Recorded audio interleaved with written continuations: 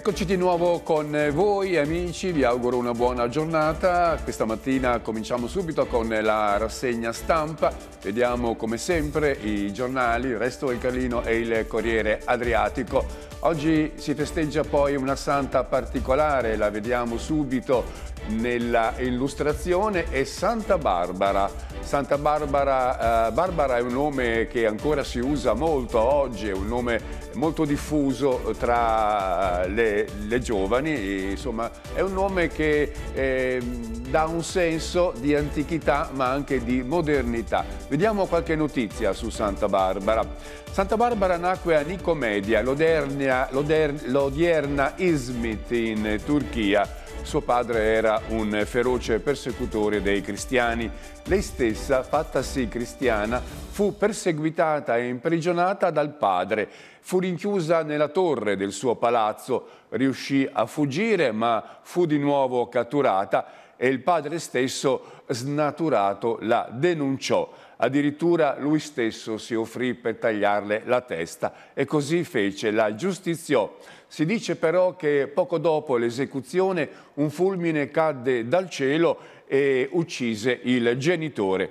Barbara per questo è invocata contro il pericolo dei fulmini, è protettrice dei vigili del fuoco e dei militari della Marina, eh, anche, oltre che dagli artiglieri. Santa Barbara è, indicata, eh, è indicato anche come il nome del deposito di munizioni delle navi. Insomma, Barbara è una santa molto molto venerata e a Fano, credo anche in altre località, oggi alle 11 si celebrerà una messa particolare con la partecipazione del vescovo Monsignor Armando Trasarti.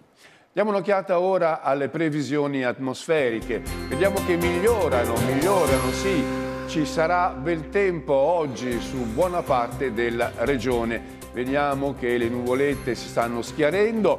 Avvio di sabato soleggiato sulle Marche dal pomeriggio sera, nubi in aumento però con primi fenomeni in Appennino. C'è una temperatura piuttosto fredda uh, all'inizio della giornata. Le temperature infatti oscillano tra i 4 e i 12 gradi.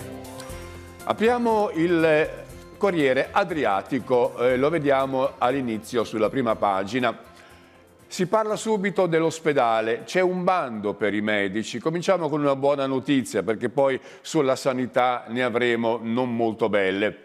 Ospedale bando per i medici è la risposta di Marche Nord alle carenze del pronto soccorso, sollevate poi dall'ira del primario Gnudi che è ancora nel mirino dei Novax un Natale da vaccinati e la garanzia per gli abbracci tra nonni e nipoti, gli esperti, se no i tamponi. La fotonotizia invece è dedicata alla ciclovia adriatica. Tutte le marche saranno percorribili in bicicletta lungo la direttiva della costa. Infatti il Ministero finanzia l'opera con 27,5 milioni, 230 chilometri da Gabicce a San Benedetto del Tronto. Le tre notizie a centropagina si riferiscono oh, due a Pesaro e una a Fano. Vediamo quelle di Pesaro. I genitori dei pestati, così vengono definiti, grazie alla polizia per il sostegno dato. Super depuratore ambiente, la città torna in regola e per quanto riguarda Fano vediamo che va a processo la banda dello spray verso il processo bis. Si parla della lanterna azzurra di Corinaldo, Fano ha avuto una drammatica vittima eh, in quel fatto che veramente ha destato la sensazione di tutta la regione ma direi anche di tutta la nazione. Via crollata, condannato Tiviroli con due funzionari. Eh, si tratta di quanto è accaduto ad Orciano, una frana che ha interrotto la viabilità per tanto tempo il 2 ottobre del 2015. Apriamo dunque il giornale e vediamo subito le notizie sulla sanità. Nonni e nipoti, occhio al Natale, tutti vaccinati o col tampone, altrimenti abbracci a rischio. Gli esperti marchigiani dicono testa sulle spalle, chi non ha fatto le dosi provveda, resta utile il distanziamento, consigliato il test per chi è ancora senza profilassi. E poi abbiamo le vaccinazioni dei più piccoli, quelli che hanno un'età che varia dai 5 agli 11 anni. Ci saranno effetti collaterali, dosi e studi clinici. La profilassi sui più piccoli eh, varia con un siero, con un terzo di siero Pfizer. Il Covid può causare una malattia infiammatoria, insomma bisogna stare attenti Comunque gli esperti dicono che nei bambini dai 5 agli 11 anni è possibile utilizzare un dosaggio inferiore rispetto a quello utilizzato nelle persone più grandi. Attualmente il vaccino Pfizer è l'unico disponibile per la vaccinazione dei bambini di questa fascia di età. Comunque aumentano i ricoverati i più gravi restano 25 in tutte le marche. Ieri altri 476 positivi e due vittime del virus. Una è un 94enne di Pesaro, l'altra è un ottantenne di Fano, entrambi con patologie pregresse aggravate dall'infezione del Covid. Vediamo ancora eh, questa grande eh, arteria, eh, questa grande infrastruttura che percorrerà tutta la regione Marche, lo vediamo qui in questa tabella, tutte le marche in bicicletta percorribili dal 2026. In arrivo 27,5 milioni di euro. Il Ministero ha quintuplicato i fondi dopo che si è recato eh, al Ministero l'assessore regionale Baldelli da Gabice a San Benedetto in bici con un tracciato sicuro e senza ostacoli.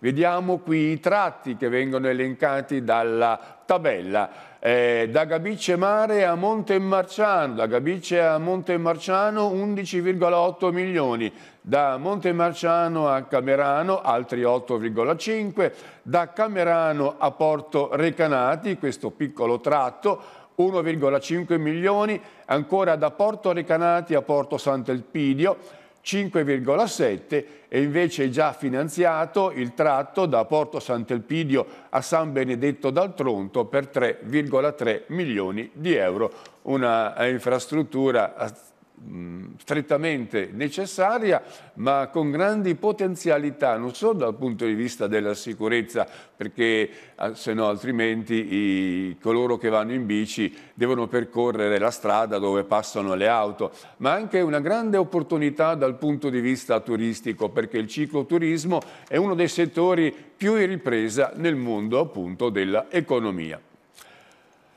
Tra filiere e innovazioni l'artigianato è in ripresa e spinge 43.000 imprese. Dal primo semestre un graduale miglioramento. Moda e ristorazione stentano ancora. Le attività strutturate sono quelle che riescono ad agganciare le opportunità di rilancio.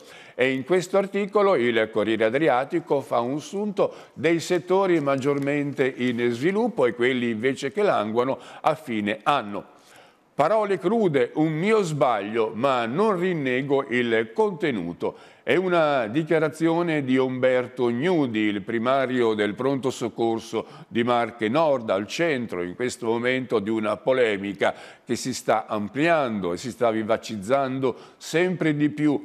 Non rinnego il contenuto, ma devo qualificarlo, ha detto. Le mie invettive non erano per il non vaccinato tout court, Conosco per esperienza i mille distinguo, ma per chi ignora, ma per chi per ignoranza o peggio ancora mm, per tornaconto diffonde informazioni false. Questo è quanto ha dichiarato il medico, ma lui stesso è oggetto di diversi esposti e lo vediamo in questo articolo di spalla del Corriere Adriatico.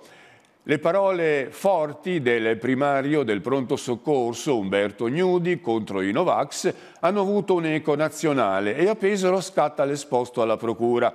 Un gruppo di cittadini Novax di libera scelta hanno contattato l'avvocatessa Pia Perricci per presentare una querela nei confronti del primario. Mi hanno contattato in diversi, ha spiegato l'avvocatessa, per sporgere denuncia. Altri sono intenzionati a farlo. Tali persone si sentono diffamate perché per svariati motivi non si sono vaccinate, tra le quali anche per motivi patologici, ovvero per malattia. una questione che continuerà a tenere banco sui giornali comunque come un po' tutti i distinguo che ci sono tra i Novax e coloro invece che sostengono l'utilità delle vaccinazioni. Muraglia stoppa gli open day solo prenotati, eh, ormai non si può più utilizzare la formula eh, di vaccinare contemporaneamente i non prenotati e i prenotati, c'è tanta confusione, così si è formata in questi giorni e quindi ieri la decisione, ora per essere vaccinati occorre per forza la prenotazione, troppa ressa per vaccinarsi. Marche Nord mette un freno da lunedì prossimo, accesso al centro solo dietro appuntamento. Ed ora in questa pagina si parla della voragine di Orciano, la strada crollata. Eh, I giudici hanno definito che fu un disastro colposo, quindi sono stati condannati Tiviroli, che è l'amministratore delegato di Marche Multiservizi, e due tecnici. Accolta la tesi del PM, la frana causata dalle perdite della condotta idrica fu mancata prevenzione, secondo il giudice.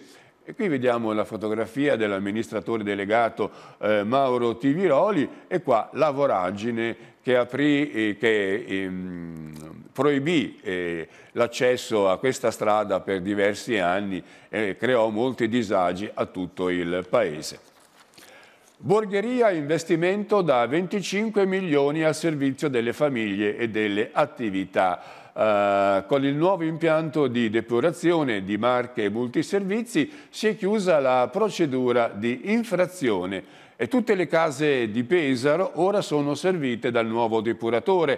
Questo costituisce un passo avanti ambientale per il fiume Foglia e il mare Adriatico. Lo ha detto appunto Tiviroli nella giornata di ieri quando insieme al sindaco Matteo Ricci ha appunto dato un eh, impulso, a un passo avanti, ha compiuto un passo avanti alla soluzione di questo problema. Una soluzione che potrebbe incidere anche alla, eh, per quanto riguarda il ricevimento della bandiera blu, dato che la situazione ambientale senza questa nuova infrastruttura non era risolvibile e quindi non poteva ricevere dalla FEE questo emblema di carattere ambientale molto molto apprezzato dai turisti. Giriamo ancora la pagina e abbiamo una notizia di cronaca. Eh, c'è un eh, cittadino che stava smerciando droga, eh, almeno così dicono i, gli inquirenti. Si tratta di un sessantenne eh, che eh, operava, lui dice, nel settore della canapa light. In realtà eh, la sua attività non viene considerata regolare dagli inquirenti che hanno veramente trovato molta, molta canapa e anche hashish all'interno della sua abitazione. Qui vedete un po' le cose che sono state sequestrate. Eh, e quindi eh, è stato arrestato. La giustificazione fornita ai poliziotti non gli ha impedito appunto l'arresto. Il pestaggio ha sconvolto le nostre vite, parlano così i genitori di Simone Pasquino e Luigi Lupini, due ragazzi che furono malmenati, furono aggrediti eh, all'esterno della Rocca Malatestiana eh, qualche mese fa a Fano. Eh, hanno scritto una lettera al questore, uno degli aggressori ha det hanno detto ci ha inviato una lettera di scuse assolutamente pretestuosa. Hanno così considerato questa richiesta di scuse del ragazzo che ha aggredito appunto i due giovani che vediamo qui ritratti in una fotografia. Siamo a Valle Foglia, si parla del Natale, eh, il Natale più bello e sicuro, eh, ci aspettano tante sorprese. Il presidente provinciale delle Proloco Bartolcetti lancia un weekend ricco di appuntamenti. Si tratta del Natale che non ti aspetti, un mosaico di eventi e di opportunità che animeranno borghi e castelli di tutto il Pesarese fino al 6 gennaio. Eh, tutte le manifestazioni entrano nel vivo in questo weekend, soprattutto a partire dall'8 dicembre, Oltre a Candelara, Fano, Monbaroccio, Gradara e Frontone, Bartocetti ha menzionato anche altri comuni come Fossombrone, Cagli, Pergola, Fermignano, Fratterosa, Valle Foglia, Orciano, Sant'Angelo in Lizzola, insomma ci sono tanti tanti paesi che hanno eh, tante manifestazioni e quindi non c'è che l'imbarazzo per la scelta per trascorrere magari un weekend, fare un'escursione nell'entroterra e immergersi nell'atmosfera di Natale che è un po' diversa tra un paese e l'altro, quindi occorre provarle tutte. A Urbino c'è stato un convegno con l'ISMEA eh, che è l'Istituto dei Servizi per il Mercato Agricolo Alimentare, a cui ha partecipato anche l'assessore regionale Carloni, c'era il sindaco Gambini che ha promosso nuovi strumenti finanziari e Carloni invece ha dichiarato di, di aver tolto il limite all'abbattimento dei cinghiali, un problema che stava così rovinando un po' tutte le culture del settore agricolo. E siamo sulla pagina di Fano. Ieri l'Associazione Albergatori ha reso noto l'esito di un questionario eh, per, nei clienti degli alberghi, in modo particolare coloro che hanno partecipato al progetto di, itineris, di itineris ovvero le escursioni verso l'entroterra. Ci sono stati eh, commenti molto molto positivi, eh, il maggiore gradimento è stato espresso nei confronti del Pincio, della passeggiata dell'Isippo, della zona del Porto, della Darsena Borghese, e poi il 30% dei turisti ha dichiarato di conoscere Fano per la sua posizione strategica, il 25% ha scelto la città grazie al passaparola, il 15% è ormai radicato in città tanto da aver acquistato un appartamento, il 15% si è affidato ai social il 10% è venuto a conoscenza della località grazie agli eventi sportivi che sono una buona risorsa per il turismo, il 5% si è fermato passando perché ha visto la città bella e si è fermata così casualmente. E tra eh, gli aspetti positivi sono stati rilevati alcuni brand della città come la Moretta, la Moretta che poi ha dato anche mh, che ha dato anche l'occasione di elaborare dei risultati con la moretta. Con la moretta per esempio si è fatto un profumo e poi si sono fatti dei biscotti, insomma il gusto, il sapore della moretta è stato replicato in tanti altri modi. Un articolo interessante appunto da leggere. C'è il processo bis per il gruppo dello spray la procura in appello per il reato di banda. Si parla della lanterna azzurra di, di Corinaldo. Eh, questi sei sono stati condannati in primo grado a 68 anni di carcere, il, la pena è complessiva.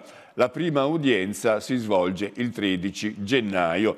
A un anno e mezzo di distanza dalla sentenza di condanna di primo grado, i sei della strage della Lanterna Azzurra dovranno tornare a sedersi in tribunale. Questa udienza è fissata per il 13 gennaio del 2022 si tratta della Corte di Appello a cui vengono chiamati e a cui devono rispondere i rapinatori della Bassa Modenese accusati di aver spruzzato all'interno delle locali di Corinaldo lo spray al peperoncino che poi ha provocato quel parapiglia con le vittime che ci sono state, sei morti e oltre 200 feriti.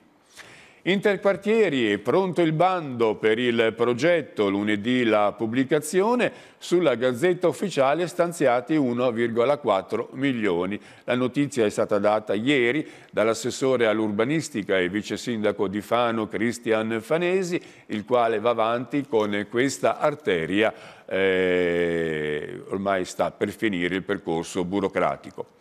A Fossombrone è stata acquisita l'eredità di Ligi, lo scultore, ora il museo di 80 opere, voto unanime del Consiglio Comunale dopo la donazione del 2019 della famiglia di questo artista. E poi abbiamo una dichiarazione a fondo pagina di un operatore che opera nel sistema del gioco d'azzardo. Con le slot machine lo Stato incassa risorse ha messo in evidenza. Si tratta dell'esercente Maccarone che ringrazia la Giunta regionale per la proroga ottenuta fino a luglio del 2023.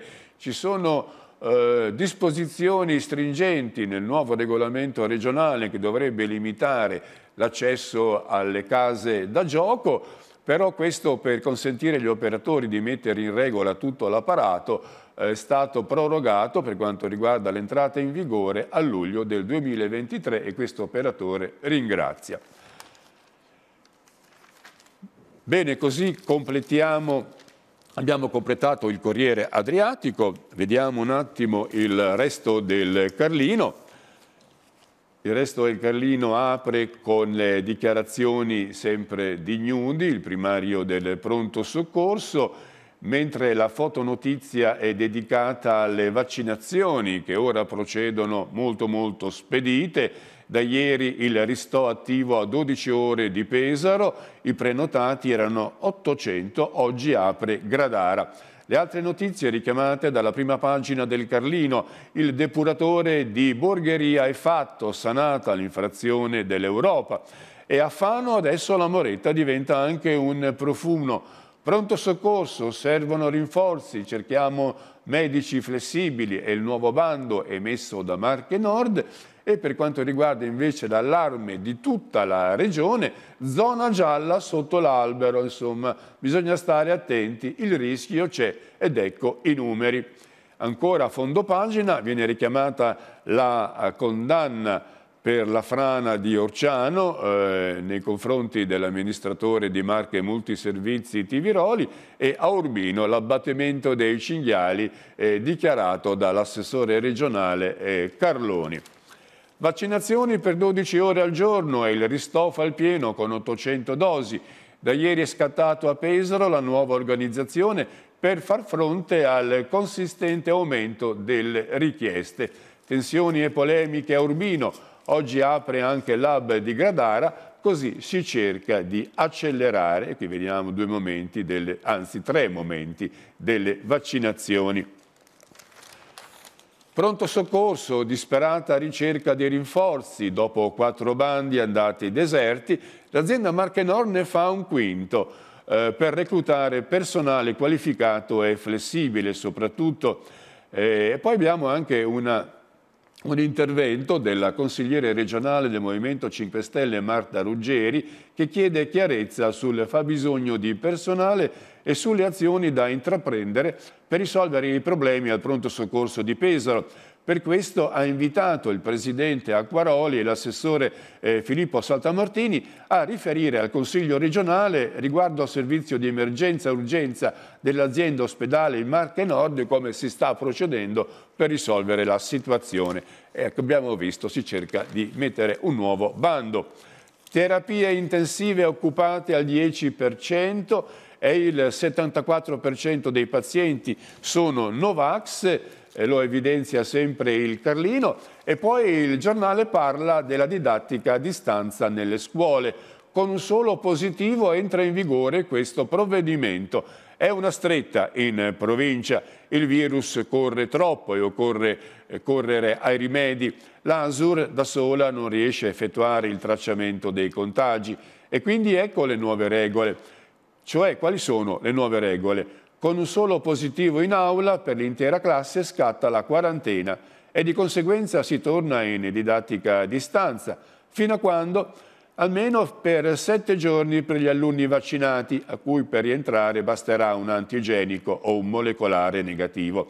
Saranno invece almeno dieci i giorni di quarantena per i compagni del positivo che non sono vaccinati, insomma qualche giorno in più. Depuratori, i conti con l'Europa sono chiusi, inaugurato quello di Borgheria. Tiviroli dice stop al procedimento di infrazione comunitaria che è stato aperto nel 2009. Iniziamo da una depurazione dell'80%, ora siamo arrivati al 98%, ha dichiarato l'amministratore e in base a, questa, a, questo progresso, a questo sviluppo, il sindaco Ricci vede molto vicina la bandiera blu per la Baia che fino adesso era rimasta, ne era rimasta priva.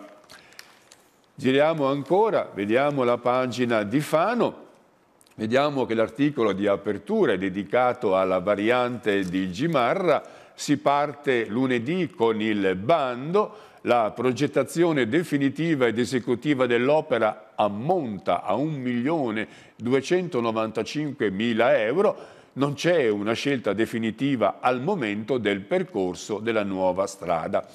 E l'opera viene finanziata con quei famosi 20 milioni che la Regione Marche ha promesso di dare al eh, comune di Fano per risolvere un po' la situazione dell'ospedale, vi ricordate l'ospedale unico di Muraglia, ma ora in realtà la necessità di questa infrastruttura eh, prescinde dalla posizione dell'ospedale, anche se le decisioni regionali ormai puntano su, soprattutto su Muraglia e quindi abbiamo l'opportunità di avere la deviazione del traffico pesante che percorre il centro di Fano fuori appunto dell'abitato e abbiamo la possibilità di raggiungere meglio l'ospedale, ma sappiamo benissimo che contro questa realizzazione c'è un vasto fronte aperto dagli ambientalisti.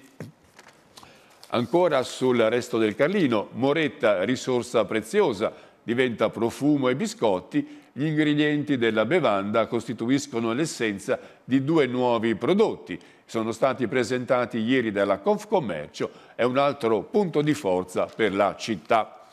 Presto la sede del distretto sanitario a Pergola aprirà entro il 15 dicembre. Ieri, nella nuova location, il sopralluogo degli assessori Saltamartini e Baldelli. Li vediamo qui eh, Saltamartini e Baldelli. E di fronte a questo nuovo oh, locale del distretto che sarà funzionale a partire dal 15 di dicembre. Ancora tre condanne per la voragine di Orciano, ritenuti responsabili di disastro colposo l'amministratore delegato di Marche Multiservizi Mauro Tiviroli e due suoi funzionari. Di questo abbiamo già riferito. Ci è rimasto solo un po' di tempo, poco poco, per parlare di sport. Vediamo il, la VIS, la VIS che si prepara a sostenere l'incontro contro l'Olbia, contro l'Olbia, inizia l'ultimo step decisivo, Banchini, quattro partite molto importanti per la VIS da qui a Natale.